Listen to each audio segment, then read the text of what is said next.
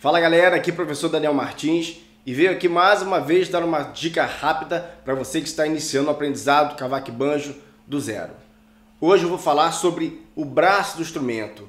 Tem gente que acha o braço do instrumento muito fino e por ele ser muito fino, às vezes eles acham que é isso que atrapalha, é, que dificulta a montagem e a execução dos acordes no instrumento. E hoje, com a facilidade do acesso aos luthiers, muitas das pessoas que podem mandam fazer cavacos com a escala um pouco mais larga, visando resolver esse seu problema. Antes de eu continuar esse vídeo, eu quero que você ouça um relato de um aluno meu que teve essa experiência. Ele achou que seu instrumento estava com a escala muito fina e mandou fazer um instrumento com a escala mais larga.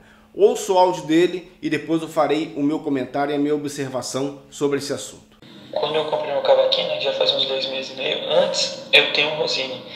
E eu me atrapalhava estava no, nas, nos acordes menores, né, que são um pouco mais complicados, enfim, estava num, num Fá menor, num Fá sustenido menor. E aí eu tinha mais, eu achava muito complicado, muito complicado, mas agora treinando tanto, eu já estou até saindo bem sobre o acorde. E agora o meu cavaquinho está para chegar e com a escala mais larga. Né? E é isso que eu tava com medo. E agora ter que me adaptar tudo de novo, não conseguir, enfim. Era por causa disso. Bom, entenda uma coisa. Existe a fase de adaptação no seu aprendizado. Os primeiros três meses é os meses que você está começando a se familiarizar com o seu instrumento. É uma coisa nova que está acontecendo na sua rotina, na sua vida e também para a sua mão, para os seus dedos. Os nossos dedos, eles foram projetados para receber estímulos do nosso cérebro, ou seja, a gente manda estímulos para eles e os nossos dedos têm que obedecer exatamente o que nós precisamos para poder executar os acordes, executar as atividades no instrumento. Imagina, você que é destro como eu, a mão esquerda é uma mão mais fraca. Imagina essa mão agora tendo uma responsabilidade muito grande de mobilidade, de agilidade, de coordenação motor. Não será da noite para o dia que você vai conseguir essa mobilidade dos seus dedos. Nós temos que fazer uma tipo uma fisioterapia com esse dedo. Nós temos que adestrar esses dedos, é um termo que eu uso muito, né? Nós temos que fazer os nossos dedos acostumarem com a escala do instrumento e responderem aos nossos estímulos, às nossas ordens para executar as atividades no instrumento. Então é o seguinte, na fase inicial a dificuldade sempre será grande e nem sempre a escala fina do instrumento é o que está te atrapalhando. Eu vou te dar dois motivos para que você troque é, a escala fina do seu instrumento para uma escala mais larga. Uma, se seu dedo for muito largo. Outra, se seu dedo for muito comprido.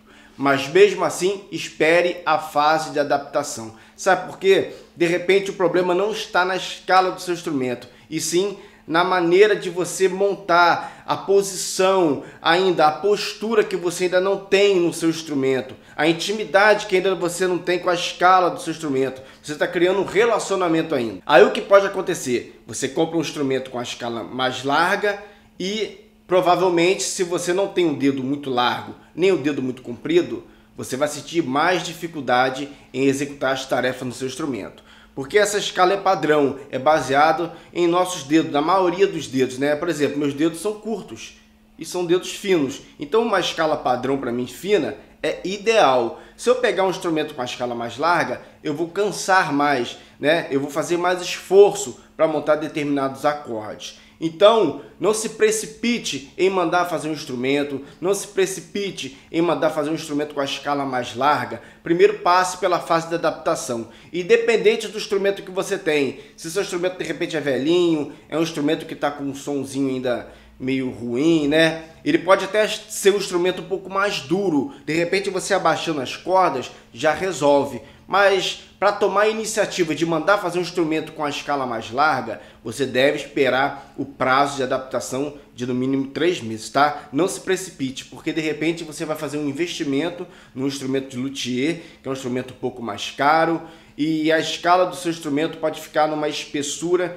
que não vai ser confortável para você tocar tá bom? Então, invista no instrumento de luthier, no instrumento profissional, quando você já estiver tocando.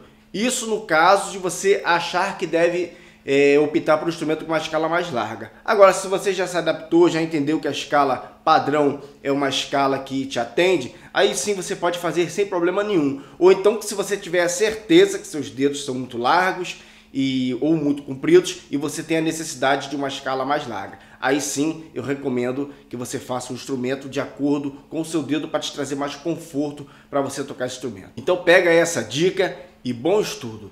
Não esqueça de deixar o seu comentário, o que você está achando dessas dicas rápidas. Diga também se você passou por uma experiência parecida como essa, para que outras pessoas possam ter o seu relato e se basear de acordo com a sua experiência, tá? Se você não é inscrito nesse canal, se inscreva, ative as notificações, porque sempre tem um vídeo direcionado para você que está iniciando o cavaco banjo do zero. E lembrando, se você quer um curso de qualidade para aprender garantido, solicite agora informações do método de Cadia The Best. O link está na descrição ou nos comentários desse vídeo. Um grande abraço e fique com Deus!